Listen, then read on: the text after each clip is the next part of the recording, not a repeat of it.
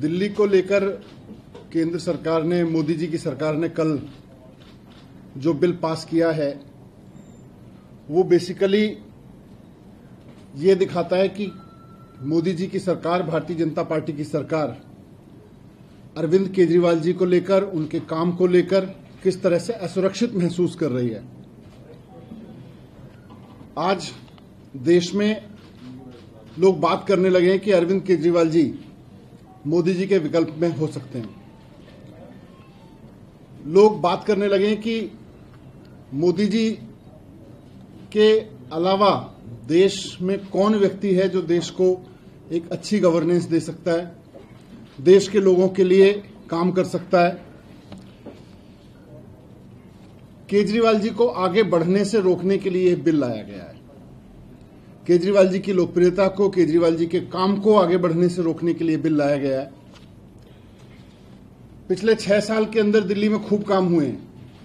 और ये हम नहीं कह रहे, पूरी दिल्ली कह रही है, पूरे देश में इस पर चर्चा हो रही है, दुनिया में इस पर चर्चा हो रही है, स्टडी की जा रही है कि दिल्ली में क्या काम हुए, कैसे हुए, विपरीत परिस्थितियों में कैसे काम कर लिए गए।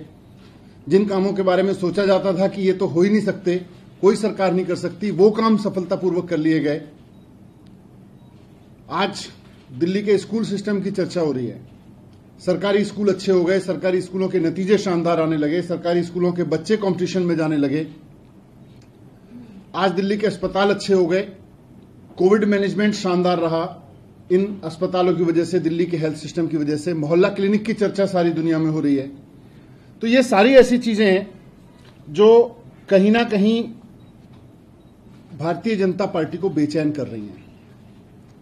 आज दिल्ली में बिजली फ्री मिल रही है। 24 घंटे मिलने लगी है। भारतीय जनता पार्टी से ये नहीं हो रहा कहीं भी। आज दिल्ली में पानी का स्तर सुधर गया। टैंकर माफिया खत्म हो गया। लोगों को पानी फ्री मिल रहा है। पीने का साफ़ पानी फ्री मिल रहा है। भारतीय जनता पार्टी से ये कहीं नहीं हो रहा। इसलिए भारतीय जनता पार्टी, मोदी जी बेचैन हो गए असुरक्षित महसूस करने लगे हैं कि केजरीवाल जी की इस राजनीति के सामने भारतीय जनता पार्टी का कोई मॉडल नहीं है। इनकी जहाँ जहाँ सरकारें हैं पूरे देश में, इनको केंद्र में इनकी सरकार है, इनकी कई राज्यों में सरकार है, पूरे देश में कहीं भी कोई मोदी मॉडल की बात नहीं करता आज। पूरे देश में कहीं कोई बीजेपी मॉडल की बात नहीं करता। लोग पूछते हैं कि भाई जब दिल्ली जैसे छोटे राज्य में, दिल्ली जैसे राज्य में जहाँ बिजली बनती तक नहीं है, संसाधन नहीं है बिजली बनाने के वहाँ अगर बिजली 24 घंटे मिल सकती है और दो तिहाई आबादी को बिजली फ्री मिल सकती है तो फिर भारतीय जनता पार्टी के वो राज्य, जहाँ संसाधन भी प्रचुर मात्रा में है, वहाँ बिजली सस्ती क्यों नहीं मिल सकती? वहाँ 24 घंटे क्यों नहीं मिल सकती? अगर केजरीवाल जी दिल्ली के स्कूलों में इतना काम कर सकते हैं तो भारतीय जनता पार्टी ने कहीं कोई सी स्कूल में काम क्यों नहीं किया? इन्होंने कोई शिक्षा का मॉडल खड़ा क्यों नहीं किया? केंद्र में या राज्य में? किसी भी राज्य में खड़ा करते? आज लोग इस बात को लेकर सवाल पूछने लगे अगर 24 घंटे यहाँ पे दिल्ली में पानी साफ़ आ सकता है, जबकि दिल्ली का अपना पानी नहीं है, लोगों को पानी मिल सकता है दिल्ली में तो बाकी राज्यों में पीने का पानी ढंग में क्यों नहीं मिल पा रहा? फ्री क्यों नहीं मिल पा रहा? ये लोग सवाल पूछ रहे हैं। कुल मिला के मोदी जी के पास या भारतीय जनता पार्टी के पास लोगों को बताने के लिए कुछ नहीं है। ना कोई मोदी मॉडल है, ना कोई भारतीय जनता पार्टी मॉडल है, और ये केजरीवाल मॉडल से घबरा गए हैं। ये असुरक्षित महसूस कर रहे हैं केजरीवाल मॉडल के सामने आज। इसलिए ये बिल लाया गया है। आज जहाँ भी जाओ, हमारी तो नई नई पार्टी है। चारों तरफ़ केजरीवाल मॉडल की डिमांड हो रही है। आप किसी राज्य में चले जाओ, वहाँ लोग कहते हैं जी काश हमारे यहाँ भी केजरीवाल जी जैसा कोई मुख्यमंत्री आ जाए। आज चुनाव हो रहे हैं तो सूरत के चुनाव में आप सबने देखा किस तरह से केजरीवाल जी के मॉडल को जनता ने वहाँ स्वीकार किया है। किस तरह से आज हिमाचल के गाँव गाँव में भी चुनाव हो रहा है तो लोग केजरीवाल जी के नाम पे वोट कर रहे हैं। आज पंचायत चुनाव से लेके नगर निगम चुनाव से लेके लोग राज्यों के चुनाव में इंतज़ार कर रहे हैं कि हमारे राज्य में चुनाव हो तो हम केजरीवाल जी का मॉडल अपने यहाँ भी लागू करें। हमें भी अच्छी बिजली चाहिए, हमें भी अच्छा पानी चाहिए, हमें भी अच्छे स्कूल चाहिए, हमें भी अच्छे अस्पताल चाहिए, हमें भी अपनी सड़कें अच्छी चाहिए, हमें भी महिलाओं के लिए अच्छी बसें चाहिए, फ्री बसें चाहिए। ये सब लोग केजरीवाल मॉडल की चारों तरफ़ डिमांड हो रही है। अब जैसे ये तो बहुत बेसिक चीज़ें हैं, पर जो विजन केजरीवाल जी लेके आते हैं, वो भी इनके लिए बड़ा चैलेंज है, क्योंकि जो केजरीवाल जी का विजन है गवर्नेंस का उसके सामने भारतीय जनता पार्टी या मोदी जी कहीं टिकते नहीं है। मुख्यमंत्री अरविंद केजरीवाल जी दिल्ली में एक योजना लेके आए कि हम घर घर हर गरीब आदमी को घर घर में राशन पहुंचाएँगे। अब उससे घबरा गए। इनकी भी सारी जगह सरकारें हर देश भर में राशन कार्ड है देश भर में राशन बंटता है। लेकिन ये नहीं सोच सकते, क्योंकि इनको उसमें चोरी करनी है। इनका मॉडल चोरी का मॉडल है, इनका मॉडल बेईमानी का मॉडल है। ये ये नहीं सोचेंगे कि आम आदमी को जिसके पास गरीब आदमी है, उसके पास राशन कार्ड है, उसको राशन लेने दुकान पे धक्के खाने पड़ते हैं, वो घर में आ, उसके घर में राशन पहुँच जाए। तो अब ये इसमें अड़ंगे लगाने लगे, इन्होंने सोचा इसको रोक दिया जाए। आपको ध्यान होगा कि door step delivery of services, Kejriwal ji एक योजना लेके आए। कि सरकार से कोई भी सर्टिफिकेट बनवाना हो, सरकार से कोई डॉक्यूमेंट लेना हो तो लोगों को सरकारी दफ्तरों के धक्के ना खाने पड़े। एसडीएम के दफ्तर के, पटवारी के ट्रांसपोर्ट दफ्तर के, इन सब के धक्के ना इंस्पेक्टरों के धक्के ना खाने पड़े। बल्कि आम आदमी घर पे बैठा हुआ सरकार को फ़ोन करे और सरकार का आदमी लोगों के घर पे आए और वो लोगों का घर पे आके काम करके जाएगा ये मॉडल अरविंद केजरीवाल जी ने दिया। इनकी केंद्र में सरकार है, इनकी राज्यों में सरकारें हैं। कहीं लगा देते इस मॉडल को, कहीं ट्राई करते इस तरह का मॉडल। आपको समझ में नहीं आ रहा तो दिल्ली से मॉडल उठा के लगा देते। वो नहीं करेंगे। ये करेंगे कि ये मॉडल कैसे फेल हो जाए। दिल्ली के लोगों को भी ये सर्विसेज़ का फ़ायदा ना मिले। दिल्ली के लोगों को जो ये सुविधाएँ मिल रही हैं, आज पूरे देश में मोदी सरकार कहीं कोई काम नहीं कर पा रही। भारतीय जनता पार्टी की सरकारें कहीं कोई काम नहीं कर पा रही। बस अब ये एक काम कर रहे हैं। केजरीवाल जी जो काम करना चाह रहे हैं, जो उन्होंने किए हैं, उसमें अड़ंगा लगा दो। उसको रोक दो किसी तरह से। उसमें लगातार अड़चने लगाते चले जाओ। लेकिन आज मैं आपसे ये कहना आया हूँ कि केजरीवाल जी फाइटर हैं। केजरीवाल जी इनके, इन अड़चनों से, इनकी इन तिगड़मों से रुकने वाले नहीं हैं। इन्होंने बहुत कोशिश की है पिछले छह साल में, दिल्ली में अरविंद केजरीवाल जी के काम रोकने की। हर तरह से कोशिश की, लेकिन आज तक रोक नहीं पाए। जितना ज़ोर से इन्होंने रोकने की कोशिश की, उतना ज़ोर से उन्होंने फाइट बैक किया, और आज दिल्ली में आप सब देख रहे हैं कि कितने ज़बरदस्त काम हुए हैं। इनकी तमाम अड़चनों के बाद बाद हुए जब छह साल में इतने तमाम अड़चनों के बाद इतने काम हो गए तो काम तो नहीं रुकेंगे दिल्ली में। ये उनका कमिटमेंट है। काम तो नहीं रुकने देंगे। फाइट चाहे जितने ज़ोर से करनी पड़े।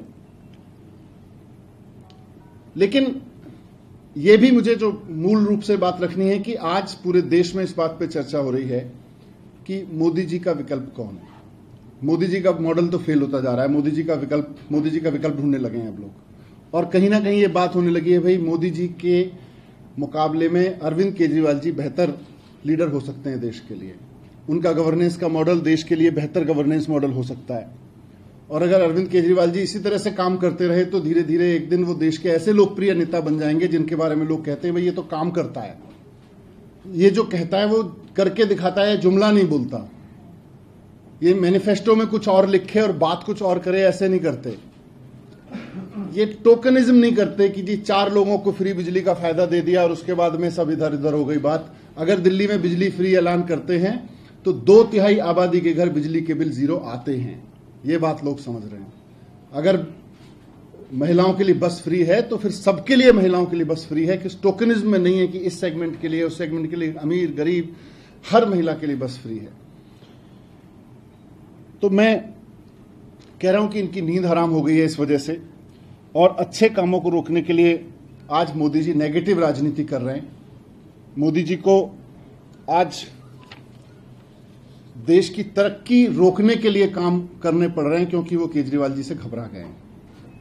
उनको दिल्ली की तरक्की रोकनी पड़ रही है, उनको देश की तरक्की रोकने के लिए कानून लाने पड़ रहे हैं।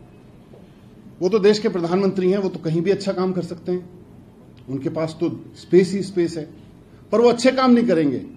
प्रधानमंत्री का अहदा प्रधानमंत्री का पद एक तरह से देश में पिता के समान होता है।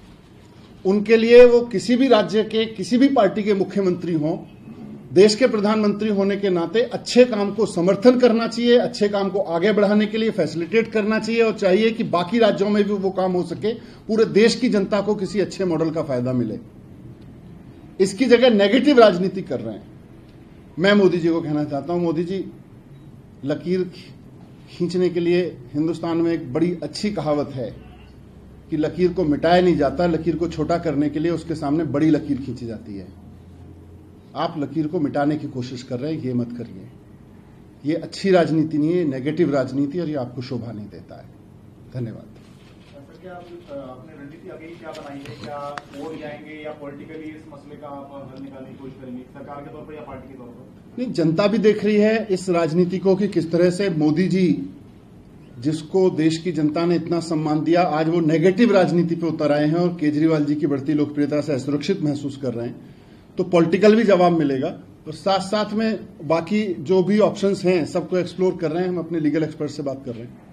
मनीष जी, जो जुलाई 2018 का सुप्रीम कोर्ट का ऑर्डर था, जिसकी चर्चा आप कई बार कर भी चुके हैं, उसके कंटेक्स्ट में अगर देखें तो क्या आप दोबारा एक बार कॉन्स्टिट्यूशन बेंच के सामने जाने का विकल्प खुला रखेंगे क्या विकल्प आपके सामने इसीलिए मैंने उनको बताया कि लीगल एक्सपर्ट से हम लोग बात कर रहे हैं इसमें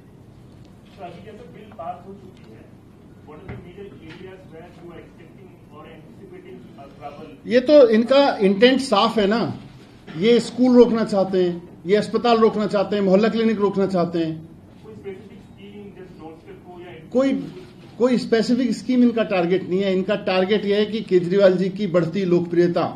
उसने इनको डरा दिया है कि अगर केजरीवाल जी काम इसी तरह से करते रहे तो इसी तरह से काम कर करके एक दिन पूरे देश में यह एस्टेब्लिश हो जाएगा कि केजरीवाल जी के अलावा काम नहीं कर रहा है कोई। और इसी बात से घबराए हुए हैं। इसीलिए ये बिल लेके आए कि इनको काम करने से रोको। बताएँगे मैं दैट्स व्हाई सेड कि लीगल तो एक्सपर्ट हम क्या एक उस पेज में फिर से जा रहे हैं जो 2015 से 18 का पेज था जिसमें कई सारे आपने बिल पास किए थे विधानसभा में उसको मंजूरी नहीं दी थी केंद्र में। क्या उसी पेज में हम दोबारा जा रहे हैं? देखो, मैं दिल्ली वालों को केजरीवाल जी भी अश्योर कर चुके हैं और यहाँ फिर कहना चाहता हूँ कि मैंने अभी कहा भी कि केजरीवाल जी फाइटर हैं। पिछले छह साल में जितनी इन्होंने कोशिश की, इनकी तमाम कोशिशों के बाद भी उन्होंने वो सारे काम करके दिखाए जो मैनिफेस्टो में लिखे थे, जो जनता से वादे किए थे। यहाँ तक कि जो केजरीवाल जी के विजन में थे, वो सारे काम करके दिखाए इनकी तमाम कोशिशों के बावजूद। ठीक है, हमें लड़ना पड़ेगा, ठीक है, हमें अपनी लड़ाई और तीखी करनी पड़ेगी, लेकिन जनता के काम नहीं रुकने देंगे।